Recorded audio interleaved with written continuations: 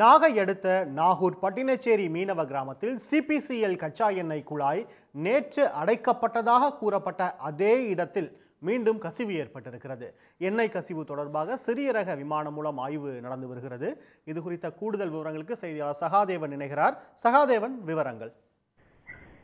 நாகப்பட்டினம் மாவட்டம் நாகூர் பட்டினச்சேரி மீனவ கடற்கரை கிராமம். இந்த பகுதியில் கிட்டத்தட்ட ஆயிரத்திற்கும் மேற்பட்ட குடும்பத்தினர் வசித்து வருகின்றனர். இந்த பகுதி கடற்கரையோரங்களில் சுமார் மூன்று கிலோமீட்டர் தூரத்திற்கு சென்னை பெட்ரோலியம் கார்ப்பரேஷன் லிமிடெட் பொதுத்துறை நிறுவனத்திற்கு சொந்தமான அந்த கச்சா எண்ணெய் செல்லக்கூடிய அந்த இரும்பு குழாயானது பதிக்கப்பட்டிருக்கிறது.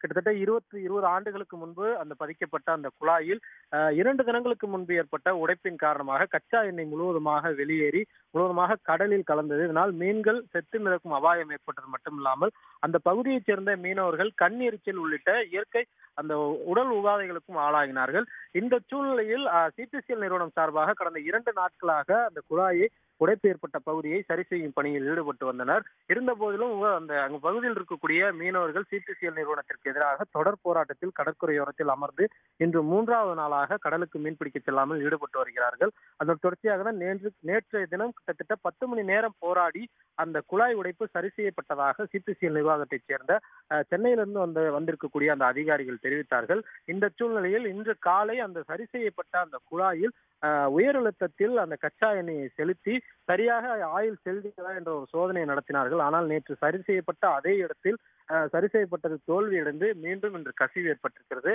ராட்சத இயந்திரங்கள் கொண்டு கிட்டத்தட்ட ஆறு ஜேசிபி வாகனங்கள் கொண்டு அந்த உடைப்பை மீண்டும் சரி செய்யும் பணியில் ஈடுபட்டுக் கொண்டிருக்கிறார்கள்.